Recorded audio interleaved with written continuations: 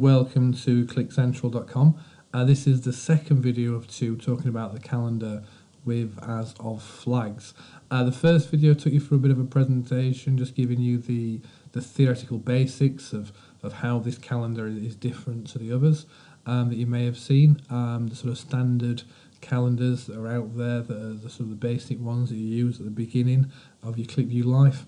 This video is taking you through the actual script that I use to create the as calendar. This script is available in the community. I will put a link um, to this particular page on the comment section. And here you can pick up the QVW, which is what we're going to be going through today, and also the QVS script, so you don't need a license to look at that.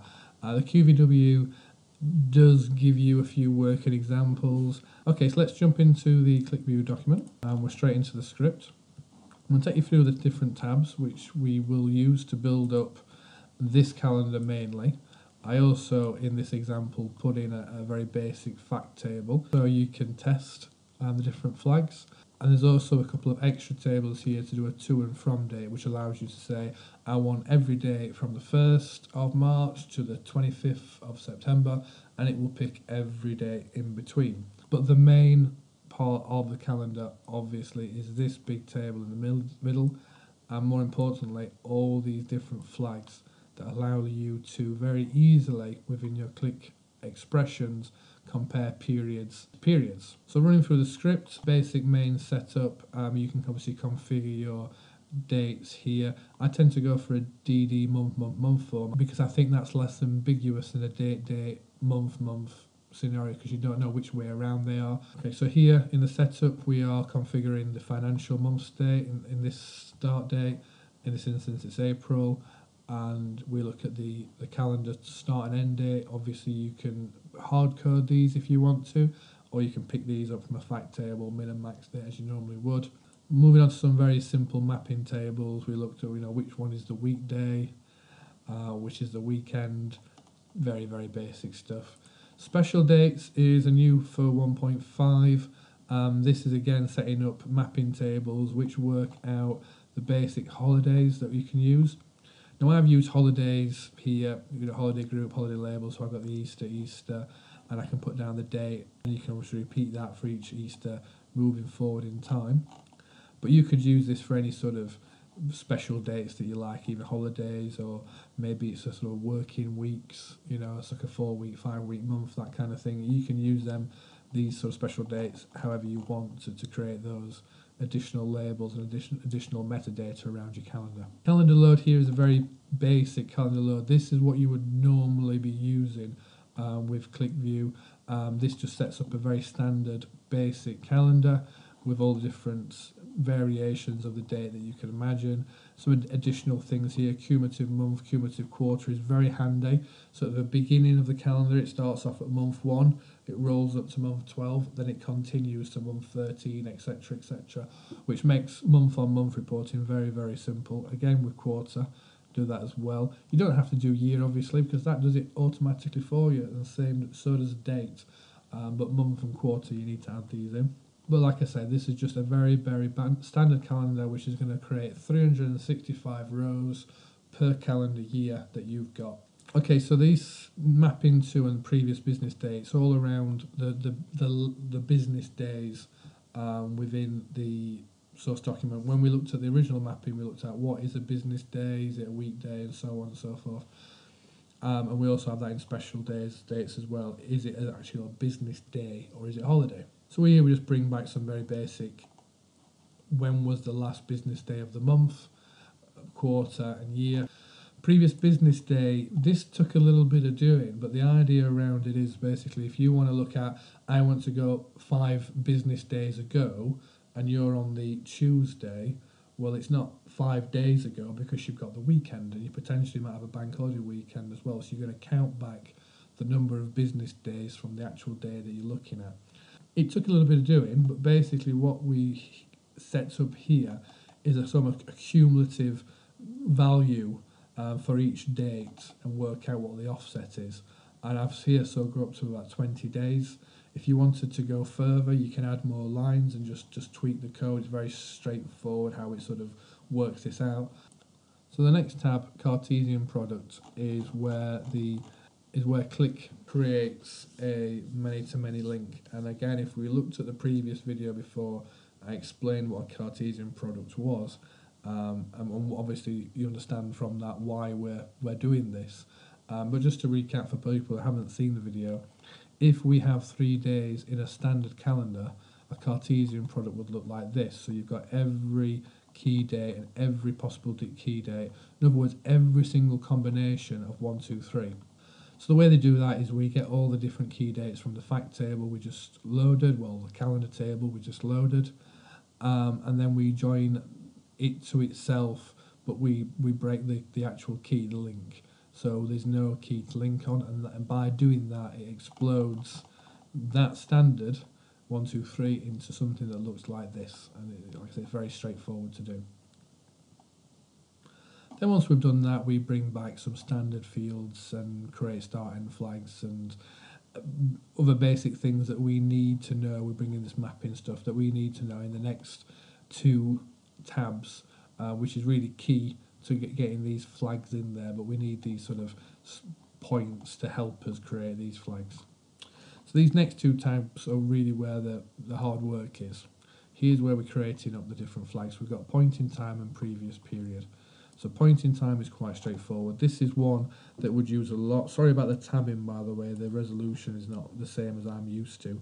Um, but we, we set up the is this date flag, one that you use a lot. In other words, is the possible key date equal to the key date? This basically takes it back to a standard calendar if you use this flag. But we create other flags as well. So it holiday group, holiday labels, this week, this month, this quarter. And again, it's just saying the date that you've selected, I want it to be this week or I want it to be this month comparative to the, to the date that you've selected. So there's a number of different flags there. And as you can see, all it's doing, it's checking the key day against other possibles. So sometimes we'll use the possible key date, Sometimes we'll use these flags, week start, weekend, uh, and additional flags as well. And it's just saying, is the possible, is the key date within a certain range of possible key dates? And that's what's really key. We're checking, is the key date within a range of possible key dates? And if it is, we're just flagging it as a 1. And if it isn't, it's a 0 previous periods, text this step further, let's go to the top. Let's say the key date is the 6th of January and we want to look at the previous day minus 2, so two days before, well that's the 4th of January. So that flag is setting it to say, well, what was it? And that's the previous period. And it's the same with point in time as well. It's saying, is this possible key date within the range of what we want to look at. And if it is, then it flags it as yes, and it knows then to go backwards. Flag previous week comparative, minus one. The, these M, M1s are not months, by the way. They're always minus one, minus two, minus three, minus four. So it's previous week minus one, which is last week, and that's two weeks ago. And that's how it sort of works out. It's, it's That's the logic around this naming convention.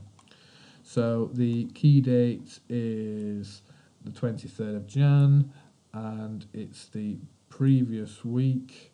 So the possible dates that we've got, so it's comparative as well. So the 23rd of Jan will have been at some point midweek. It won't be uh, the actual, you know, Monday to, to sort of Sunday kind of time frame. So it's saying the possible comparative is the 13th, 14th, 15th and 16th of January and that's all for the same key date that the user selects. So just to run through these, I'm not going to go through them in detail, but previous day, previous business day, hopefully it does what it says on the tin. Obviously this is missing out bank holidays and weekends and so on, but you can set that to whatever you want it to be. Um, inclusive, so that's sort of a point in time where what we're now and then five days ago or something like that. But that's sort of what we're on now, five days ago, and all the dates in between those days as well. Um, so it's not just a day and day comparison, so it's the inclusive part. Exactly the same with the previous business day, so it's skipping any non business days. You could look at the last 20 business days, for example, or last five business days, which is very good for rolling, some rolling measures. We've got previous months in here as well. Um, previous month comparative again. Comparative means that if you've got the fifteenth of the month, then the previous month comparative will be the month before, the first to the fifteenth, depending on what you've got selected. So these last ones as well. So we've got the comparative and the last.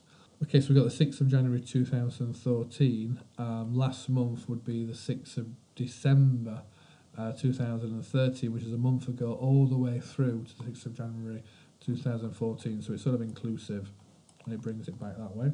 So these, and the idea of this this table really now is to sort of give you ideas of how you can expand that. And obviously, on a lot of these, I may have only gone back so many so many months, 12 months, but if you want to go back 24 months, you can. You can just add the extra flags in there and expand that as you want to. Here we create a couple of extra tables, the from and to dates, which allows users to select, I want to select from the 1st of January to the 31st of March, and it will then select all the dates within that date range, which is really handy if you want to create that kind of calendar on your user interface. Finally, what we'll do is clear it, clean everything up. So we're dropping a lot of fields that we don't need. We're also looking at the flags as well because if you've got a row within your calendar that has no flags whatsoever set to one, then you could quite easily argue there's no point having that row in the in the final output. So what this does, it looks through all that and it reloads the data and makes sure that any lines that are not needed are dropped at this point. Okay, so associate in action, we can look at the date selections. Let's try and find something that we may have some data for. Let's go back to 2013. Yeah, and we select is this date. So we've got 6th of January 2013, but we've got all this data is still possible because we've got no flag selected. So if you select the is this day, it will bring back the 6th of January. Is this month? That will be the, the whole of January. Yep, you can see that over here. And we've got some information flags to say, you know, is is it a weekday? No, it's not. It's a weekend, so it's not a business day. It's not a holiday, so we can see what it is as well on that date. We can look at previous periods. So we've got the 6th of January, if we want to look at the previous day. Is the 5th of January. And then two days ago is the 4th of January. So you can see how these flags are working. And then from an example set analysis point of view, Let's pick a date that we know we've got some data for. And there we go. We've obviously got some no data for. So we've got what was the the uh, the results for today, what was the results for yesterday, what was the results month to date, previous month to date, so on and so forth. And then we can see from that set analysis examples, that is now what you need to do to create all these different expressions. So this becomes very much intuitive to what you're seeing written down to actually what it is compared to the, the other set analysis that what people are used to, the more complex set analysis. So I hope everyone's found that useful. I appreciate it's a lot to take in. Hopefully it'll give you a bit of a taste of what it can do. Obviously download the file, read the comments, play around with it, ask questions of me and the community. Lots of people are uh, you know, are replying to comments on these posts as well, as well as me. Uh, a lot of people are using it. Um, and yeah, hopefully that will, will help you and in your dashboard design going forward. Thanks very much for watching.